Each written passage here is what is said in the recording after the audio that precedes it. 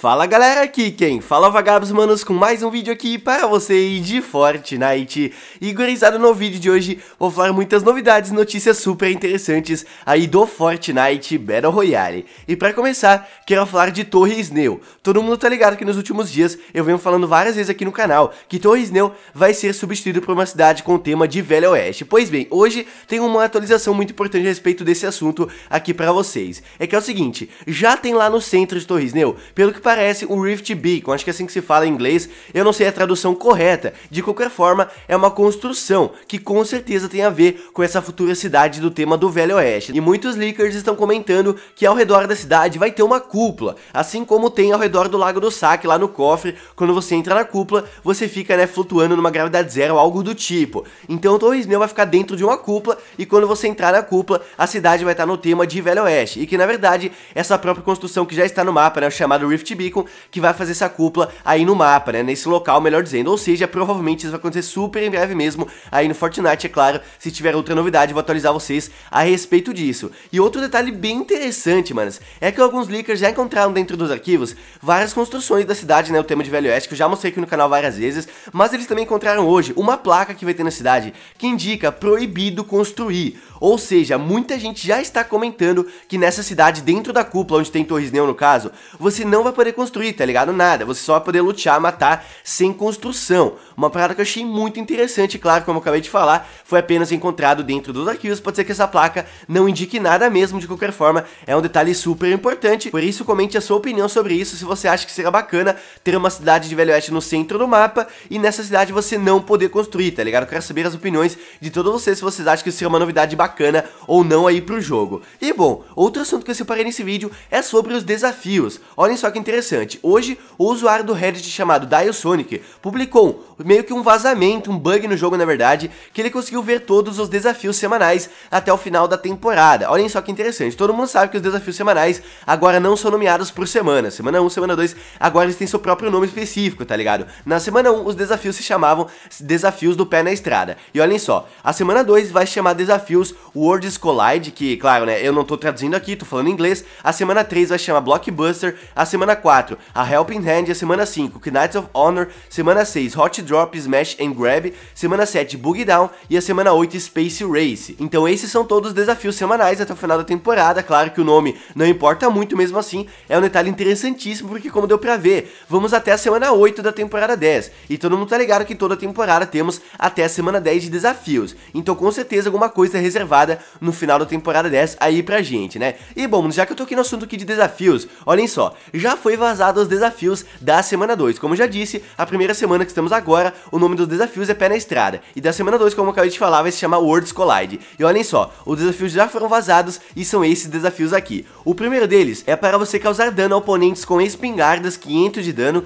O segundo desafio, causar dano com SMGs, né, submetralhadoras, 500 de dano também. Terceiro desafio, causar dano de cima dos oponentes oponentes, 500 no total. Quarto desafio, causar dano na mesma partida, 1000 de dano. Quinto desafio, causar dano com sniper a oponentes, 500 de dano no total também. Sexto desafio, causar dano com itens com supressor, 500 de dano. E o sétimo desafio para você causar dano também a oponentes, debaixo deles 500 de dano no total. E esses são sete desafios simples aí na próxima semana, mas todo mundo sabe que nessa temporada também tem os desafios prestígio, onde você consegue né, resolver mais coisas e ganhar mais recompensas para os desafios são um pouco mais difíceis. E olhem só, os desafios da semana 2 de Prestígio serão os seguintes desafios. O primeiro deles vai ser para você causar dano com diferentes itens na mesma partida, 5 itens diferentes. O segundo, causar dano com rifle de assalto, 500 de dano no total. O terceiro, causar dano de headshot, 500 de dano somente aí na cabeça. O quarto desafio, para causar dano com itens com mira a oponentes, 200 de dano. O quinto desafio, causar dano a oponentes com diferentes tipos de armas, 5 tipos diferentes de armas. O sexto desafio Prestígio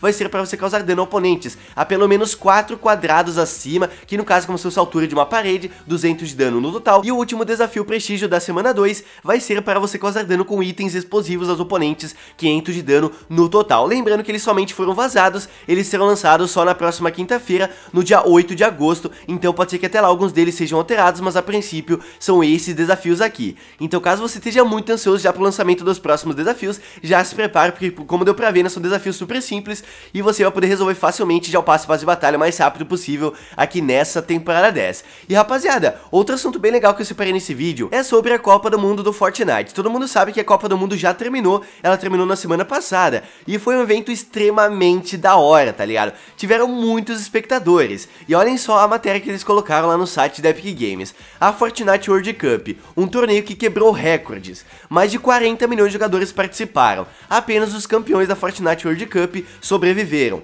Os melhores jogadores de Fortnite do mundo se encontraram em Nova York nos dias 26 a 28 de julho para competir por parte do prêmio de 30 milhões de dólares das finais solo e duplas da Fortnite World Cup, 3 milhões de dólares das finais do modo criativo e 3 milhões de dólares do Shirt Pro AM. O evento foi resultado de 10 semanas classificatórias dos torneios online, com 1 milhão de dólares em prêmios e mais de 200 países participantes. Mais de 19 mil fãs lotaram o Arthur Ashe Stadium durante os três dias finais da Copa do Mundo do Fortnite. No domingo, durante as finais né, no modo solo, o total de espectadores simultâneos atingiu um pico máximo de 2,3 milhões entre o YouTube e a Twitch, tornando a Fortnite World Cup o evento de jogos competitivos, excluindo a China, mais assistido de todos os tempos. Esse total não inclui fãs assistindo no jogo em outras plataformas de transmissão e mídias sociais. Não teremos como promover um evento como esse e exibir os melhores jogadores de Fortnite sem o apoio de vocês. Obrigado a toda a comunidade Fortnite. Manos, o evento foi um sucesso total. Todo mundo sabe que a Copa do Mundo já estava sendo esperada há um bom tempo, né?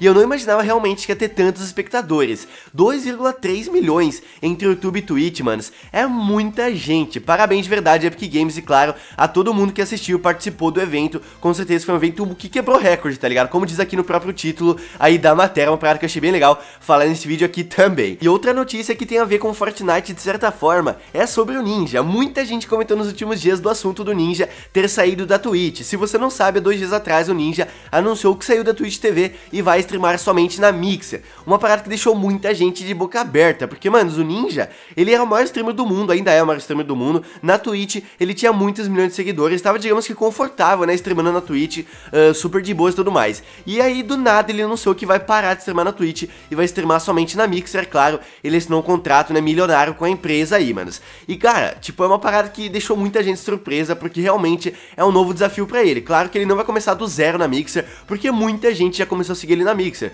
já que, de certa forma, é o maior streamer do mundo, claro que muita gente migra para outra plataforma por causa dele. Então, manos, é um negócio que muita gente falou nos últimos dias, chega até a ser engraçado. Muita gente fala que, ah, um contrato milionário não vale a pena para uma pessoa só. E no dia que a Mixer contratou o Ninja, muita gente falou sobre isso. Aqui no Brasil um pouco menos, claro, mas na gringa, todo mundo falando sobre esse assunto. Ou seja, a Mixer com certeza ganhou muita gente de espectador somente nesse dia. O Ninja com certeza absoluta vai atrair muito, muita gente, né, aí pra plataforma, que pra quem não sabe, a Mixer, se eu não me engano, é da Microsoft, ou seja, por ser parte da Microsoft, já não é uma concorrente fraca da Twitch, e agora, né, que contratou Ninja, com certeza vai crescer muito mais. Então vamos ver como que vai ser nos próximos meses aí o desenvolvimento do Ninja em outra plataforma, e também os outros streamers, né, vai saber como que eles vão se decidir a respeito das plataformas de streaming. Afinal, o Ninja é o maior streamer aí da Twitch, e ele saiu da Twitch, então vamos ver como é que vai ser os outros streamers, se vão trocar de plataforma também ou não, é claro que só o tempo dirá essa resposta aí pra gente. Enfim, rapaziada, outro assunto bem interessante que eu separei nesse vídeo